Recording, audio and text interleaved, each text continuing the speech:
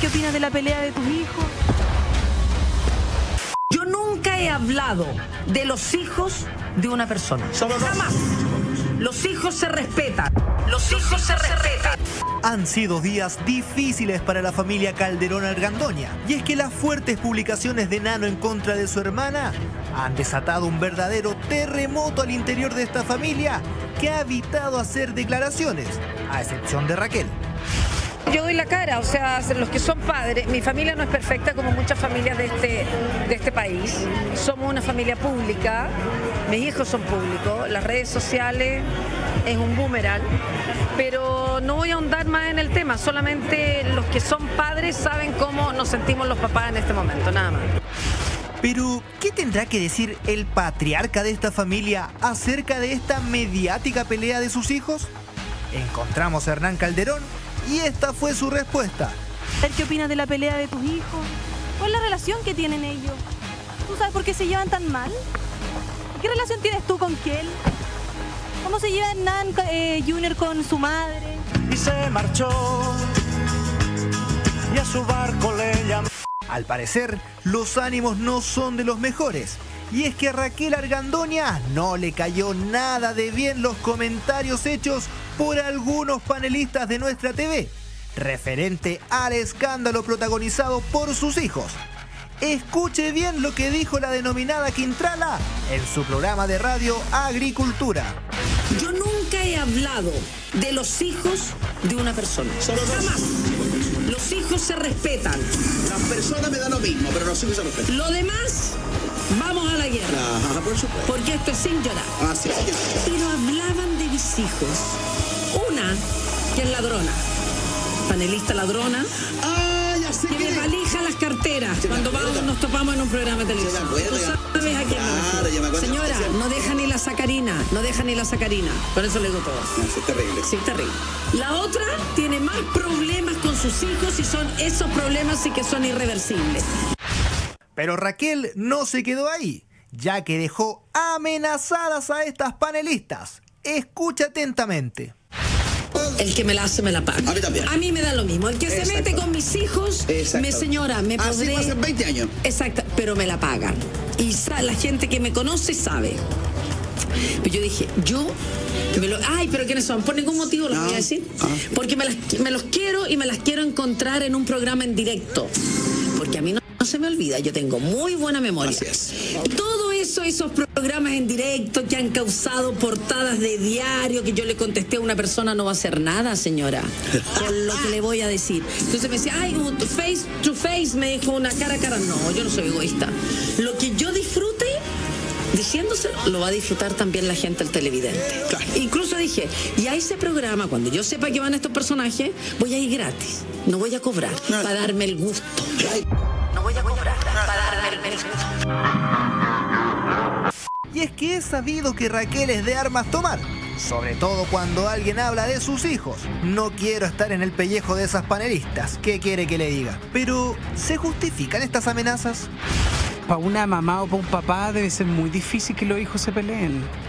Eh, creo que uno con los hermanos puede tener pelea un día, distintas cosas, pero eh, a los papás les, afecta mucho cuando los hermanos están, están peleados, cuando sus hijos están peleados. Entonces Yo me pongo en el papel de todos lados, uno cuando se pelea con el hermano, los papás son los mediadores siempre, ¿cachai? Entonces creo que ese nivel de, de amenaza viene de la desesperación, de no saber qué hacer, de cómo sol- solucionar esos problemas, entonces yo creo que eso resulta como difícil. Ahora, ¿quiénes son? No tengo idea.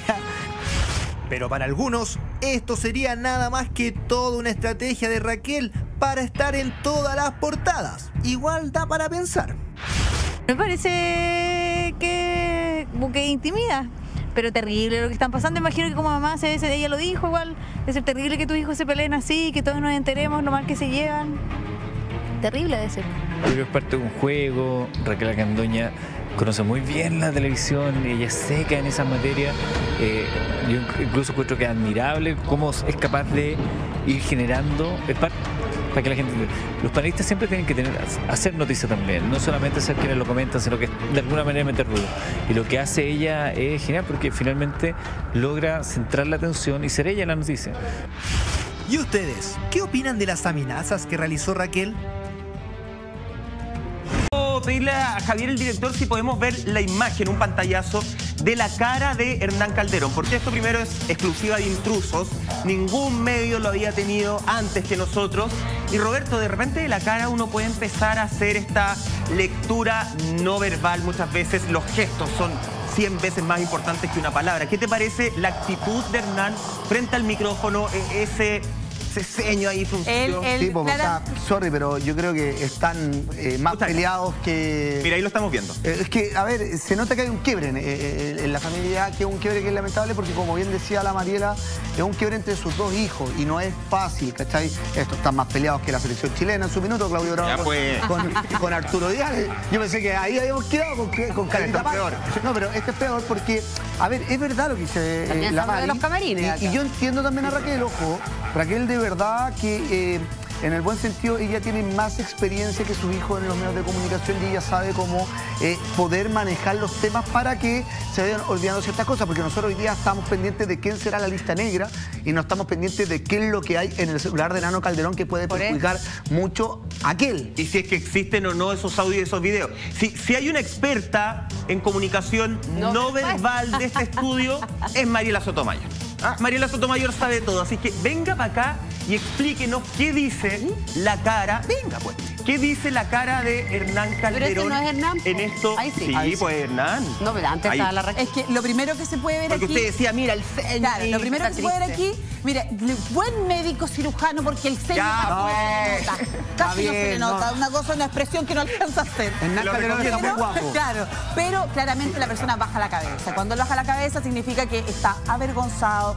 triste y que en el fondo prefiere bajar la cabeza antes de mirar de frente y decirle lo que le gustaría decirle a nuestro periodista. Está ojeroso, Yo creo si te él, él va- se le nota cansado, muy serio, eh, mirando hacia el suelo, que generalmente cuando una persona asiente hacia abajo es porque sabe que en el fondo no, lo están, no le están atacando ni le están mintiendo, sino que es algo que él esperaba. Es cuando uno dice, pucha, me equivoqué. Pucha, me uno sabe, uno sabe, entonces uno inmediatamente hace la inflexión El gallo cinco lucas, Mariela, hacer ¿sabes dónde así. quedaban? Cuando usted le diga a su marido, ¿con quién andaba? Y no, si no sé qué, y él le hagan, bueno, pero si la verdad, inmediatamente baja la cabeza, ese hombre es culpable. Aplauso para el cuerpo no miente, Mariela Sotomayor. Mariela. Ah, lo acabo de decir. el cuerpo no, no miente, me encantó.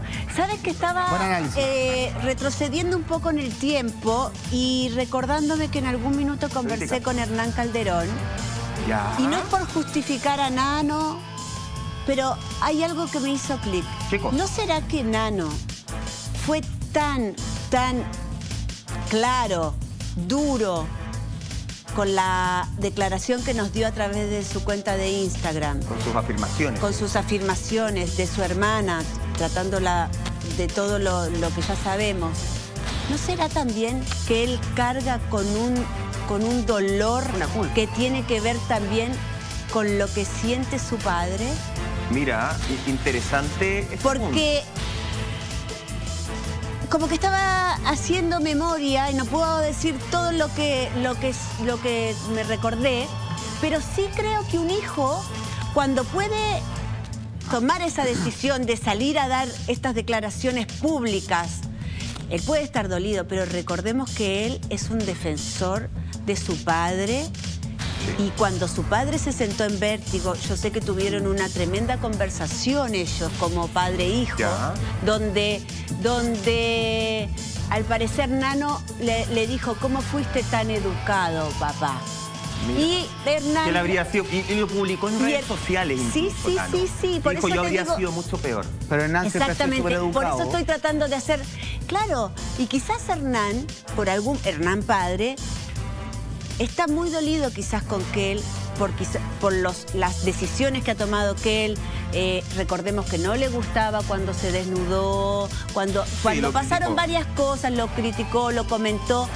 Y claro, quizás Nano tiene tanta información de todas las partes que él dijo, o sea, más encima deja a mi padre mal parado, públicamente, Eso fue hace no lo, tiempo. no lo apoya, porque recordemos las declaraciones de que él donde dijo que... Porque además eh, ahora en Revista Cara ella dice que está enojada y distanciada con su papá porque el papá no está enojado porque ella no lo apoyó. Esos dichos que decía la Claudia justamente. Entonces dice Es que él puede bueno. haber dado declaraciones apoyado por su papá. No, no, No, no, no, eh, eh, no, no Lo que pasa es que Lo que estoy él diciendo es que esperaba quizás- que, él lo apoyara. Claro, lo que estoy diciendo que quizás Nano tiene más dolor acumulado porque escucha quizás el sufrimiento de su padre, la visión de su padre, el dolor de Hernán Calderón. Y obvio que Hernán Calderón no va a salir hablando. Entonces, para nosotros que, que estamos tratando de armarle el puzzle, señora, con toda la información que manejamos, es como... eh, Claro, queda un espacio ahí donde Hernán, eh, Hernán hijo puede estar tomando también partido por su papá. Claudia calza con eso, Catita. No, no, o sea, un poquito sí y un poquito no. Yo creo que Hernán Calderón está así, tan cabizbajo y tan triste, porque se da cuenta que es su única hija y su único hijo, y que el hijo se fue al chancho, digamos las cosas como son. O sea, se sobreactuó, porque uno se puede pelear dentro de la familia, pero las cosas que dijo Hernancito Calderón, Nano, le vamos a poner, Nano Calderón, fueron muy graves. O sea, eres un asco de persona, no eres mi hermana. Entonces yo creo que sí, Duro. puede ser que a lo mejor ellos se apoyen en la interna, pero pucha, una cosa es que tú me defendáis y la otra que te vaya No, al no, chancho. no digo que él, no digo, eh, por favor que se entienda, no digo que, no digo que ellos dos se pongan de No, acuerdo. no, no, no estoy hablando de que eso, como hablando que- hijo, como Sí. hijo Está tomando nano, parte por el dolor de entendí su papá. perfecto, Claro. Absolutamente. Pero también, claro. ojo, acá hay un tema. Raquel Calderón nunca ha sido públicamente apoyada por casi ningún hombre. O sea, perdón, su ex, el Pablo Chilling, nunca la apoyó, se supone que la felpeó. Después, eh, Galán Andrade acaba de terminar una relación larguísima, también desapareció. Su hermano la ataca, su papá Ay, no la defiende. pena. O sea, Pero- ella realmente, contención de hombre, no tiene Yo mucha. siento que- Entonces yo siento que ella está súper... Yo de verdad, yo estoy, yo estoy más preocupada por Raquel Calderón que por Raquel Argandoña. A mí me, yo, o sea, ella ya es grande, este, yo por eso creo que está haciendo un voladero de luces y está tratando de distraer la atención porque Raquelita está pasándolo como las Ojo, pelotas. yo, yo del grupo de, de- de hombres Nati que acompañan a no aquel, yo a Pangal lo sacaría. Sí. Ellos no, siguieron estoy de hablando, hecho, espérate, déjame aclarar, en- lo que pasa, sí, lo que pasa es que terminar una relación tan importante Pero esa relación se terminó prácticamente. Por eso te digo, ella en términos de, de, de machos, está sola. Está muy sola. Agarrando las palabras de la Katy y agarrando las palabras de Claudia, ¿podríamos hablar de que a lo mejor es una familia que está dividida también por el término feminismo? Porque al parecer, Hernán y Nano son bastante más machistas que una aquel y una Raquel Argandoña, que en su época era una adelantada para el feminismo. Sí, yo creo que eso puede provocar conflictos, pero también hay familias que todos piensan distinto y no por eso hay de este tipo de diferencias o peleas públicas o agresiones públicas como las que vimos en las redes sociales de, de Nano a, su- a sus hermanas. Eh, ¿Sabes lo que yo creo con respecto a Hernán Calderón? Yo creo que hay frustración, porque una persona que tiene una profesión que es abogado, muchas veces resuelve sus conflictos desde ese ángulo. Y cuando, no sé, existe algún ataque a alguno de sus familiares, él dice, bueno, yo tengo los conocimientos y yo pongo una demanda, injuria y calumnias y la voy a sacar adelante porque nadie puede ofender a mi familia y los voy a proteger. Pero en este caso son dos hermanos peleando. Entonces, otro escenario. Obviamente no va, no va a hacer algo de ese tipo atrás a, a su hijo. Entonces yo creo que hay como frustración. Roberto. ¿Sabes qué? Que yo creo que Nano aprendió de Raquel Argandoña. Y Nano, al igual que Raquel Argandoña, porque lo hemos visto en reiteradas ocasiones públicamente, él las cobra. Y recordemos también que cuando aparecieron, por ejemplo, estas fotografías que fueron bien polémicas de Nano, que él fue la principal, en el fondo, crítica de su familia hacia estas fotografías. Sí. Y yo creo que esto Nano le molestó, le dolió porque él lo dijo, o sea, ya no tenemos una relación eh, de hermano. Yo creo que muchos también acá hemos, hemos peleado con los hermanos, hemos tenido ciertas diferencias quizás, pero eh, uno intenta arreglarlo, finalmente es la familia. Entonces, por eso yo humildemente, porque yo no soy quien para aconsejar a nadie, pero humildemente yo creo que públicamente no se ve bien lo que está haciendo Raquel Argandoña, independiente de que ella está intentando de proteger a su familia. Porque lamentablemente así también algunos de su familia han aprendido y la están haciendo incluso en su contra. ¿Cómo solucionáis esto? Yo creo que lo mejor es que hablen bajo cuatro paredes, o por último balcón con balcón, no sé si viven Siguen al lado, cerca, ¿cachai? sí. por último van, ya, perdón, no sé. Pero yo creo que de verdad la familia necesita una conversación interna entre todos y arreglar la situación. No es bueno, no es para nada eh, grato que tu hermano hombre, que como bien dice la Cata, puedes tener muchas diferencias con tus hermanos, hermanas, pero tú eres el hombre de la familia, aunque seas menor, tienes que protegerla en las buenas y sobre todo en las malas. ¿Le dices No es bueno. propia? Es que obvio, pues, pero no, es que no Es podí, verdad. sorry, no podía amenazar a tu hermana públicamente diciendo que tenéis cosas y casi menos en, en- en el lanzamiento que está hoy día la, la que él, menos en la, en la buena onda que ella tiene. ¿cachai? No, no, sorry, Michael, no podí, por muy enojado que No, sí. sí, yo estoy totalmente de acuerdo co- contigo. que y las palabras de, la mayoría No, de ustedes me identifican 100%, pero Mari, ¿sabes qué?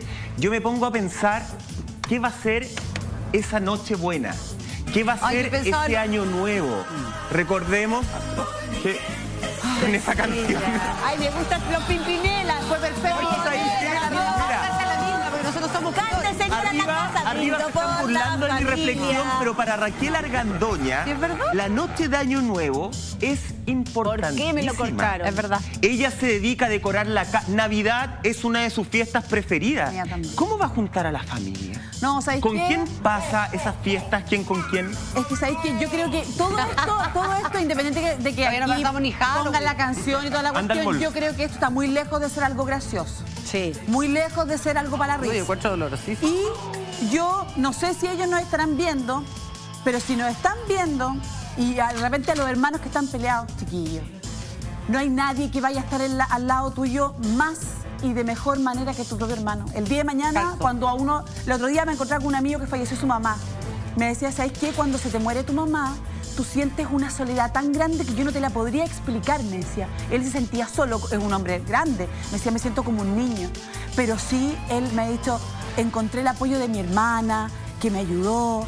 Entonces yo decía que, bueno que tiene una hermana y cuando pienso en las palabras de Raquel, que son las típicas que le dicen los papás a uno, que, ya cuando me muera, no sé qué, en realidad es cierto, pues chiquillos, el día de mañana ustedes se van a tener que encontrar.